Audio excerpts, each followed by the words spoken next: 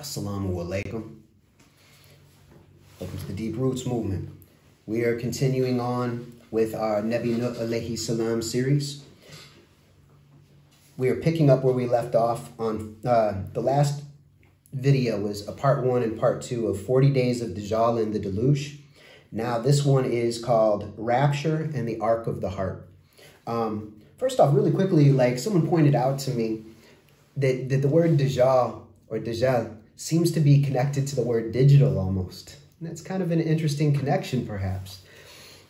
I don't know for sure, but I'm open to these possibilities. I think we should we, we, we should consider all possible possibilities. All right, so now let's think about rapture and the ark of the heart. Now, in the ark of the heart video, a few videos ago, I discussed that that one aspect of our maturation and what what what saves us from the deluge against evil is creating a is is generating a protective force field against um, immorality and and and, and devil tech. You know. Um, and you know so we actually take a stand and we, we create a fence around ourselves of morals and ethics and, and as we as we go through toba turning away from the evil corrupt world and make hijra of the heart and go through the tazkiyah process of purifying our bodies and minds and purifying our environment of anything that's of, of anything that is an unethical and impure input um, you know like gmo um, foods and drinks and body products and cleaning and, and harmful cancer causing cleaning products. So we leave these things behind. So we create a fence to protect ourselves against harmful and toxic um, inputs. And we also protect the outer world from contributing to its toxicity because we don't want to put harmful, toxic outputs out into the world. Also, even though this fence is up, this protective field, we also have we we open our heart to all of Allah's interconnected creation. And we accept all of all of the creatures all of the flora the fauna all of humanity. We realize that they're first off they're already within us. They're literally already within our clay and our water. They're already programmed into us. They're within our heart. Our heart is the connecting point to all all of creation. So and we do have a way of extending protection to others. This is this is a you know deeper spiritual reality that maybe we can get into at some point, inshallah. But um, so we're we're building this ark, and we're also calling people to Toba and Tazkiyah, and and as devotedly and as wholeheartedly and sincerely as possible, we are making Toba and Tazkiyah ourselves. And we want to we want to come out of our dark night of the soul, our long dark night of the soul, and we want to be rectified and we want to be made whole. To be made whole, the whole making process is a healing process. This is healing our bodies, healing our minds, holding, making whole our bodies and our minds. Um, you know, and, and, and, and healing our relationships. Um, so this whole making process. Um, so now let's get into this whole thing about the rapture and the ark of the heart. So we've got we've got this ark of the heart that we're that, that we're we're cultivating we're developing. Now, um, remember the the the deceiver. He there's a great delusion that's come over the people, and people have gone significantly off path, and they have been led to destruction, and, and they will be like largely wiped out but some of them will be put into a digital ark, some, you know, a false spiritual energy. Um, and then we've got humans who are saved in, in a spiritual ark, so to speak. Now it's interesting that um,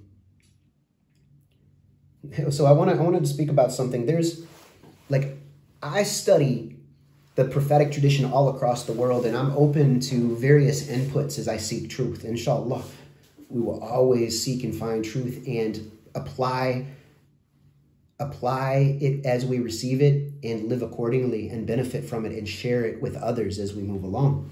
Now, um,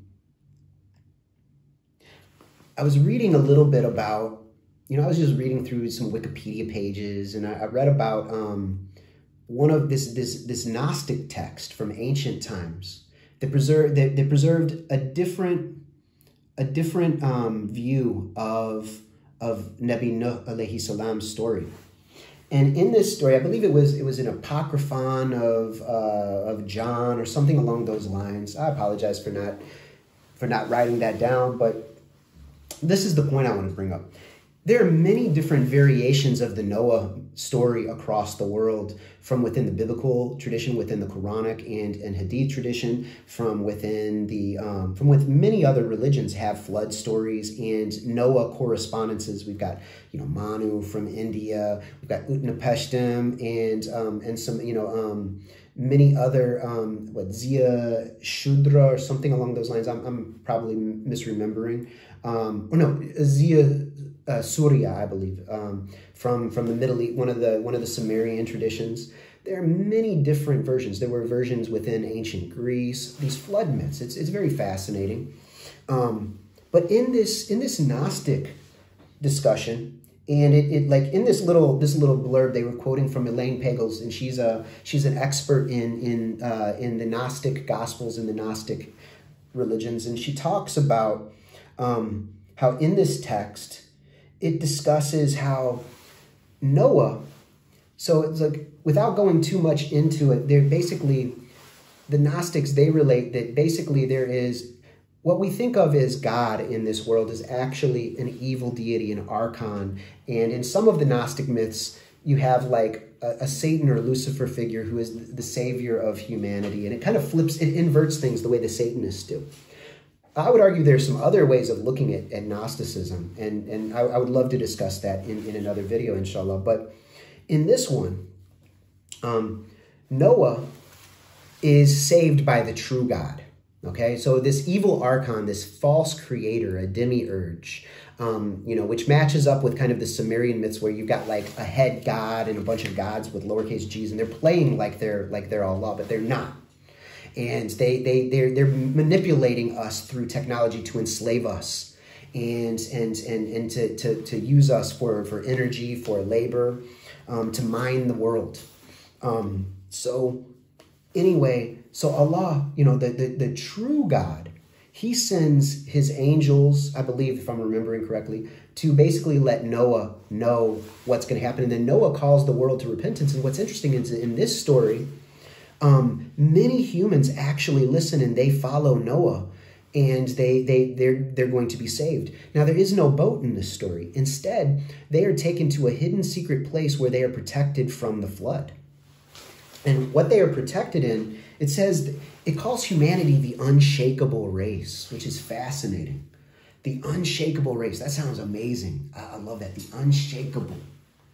Um, I also saw some interesting things about you know, the unshakable ones within the Buddhist tradition about the Buddha families, which um, they always depict them as like these Buddhas and they're different colors. And so when I read about the Buddha families, it made me think about because they were different colors. Like you had a, a, you know a black Buddha and a white Buddha and a yellow Buddha and a red Buddha, and so and maybe a blue or a green one. But anyway, like I automatically thought the different colors of humanity and Buddhas are basically they are egoless. They're humans in a mature state and it can be a, a man or a woman can become a Buddha, meaning an awake, you know, an awakened, enlightened human being, a mature human being with beautiful expressions. They're egoless, and um, so it's it's humanity in our mature state.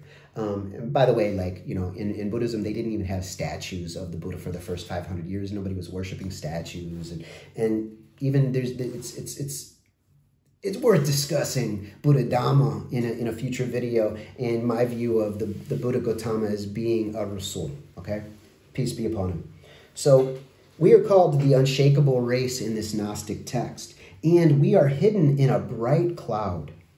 So now let's talk about rapture. In the Christian tradition, starting in the 1800s, there was a new conceptualization of you know, based on Paul's teachings, reading the reading of, of uh, some Pauline text, I believe from Thessalonians about, you know, like a trumpet being blown and, and um, you know, um, believers